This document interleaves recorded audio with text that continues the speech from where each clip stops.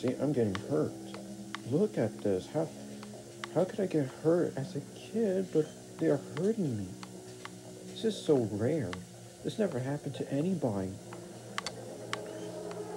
Whoever played as a kid in the beginning in Fable, you can get hurt. How is this not possible? Is this for real? Am I, am I gonna die as a kid?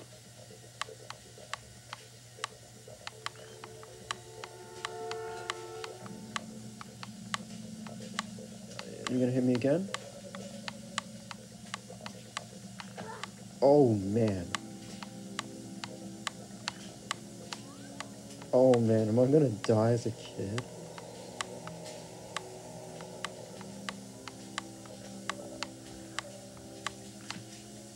Game over? What? What happened? I had to get you out of there. Your health was getting punished. Oh, so that's what happens.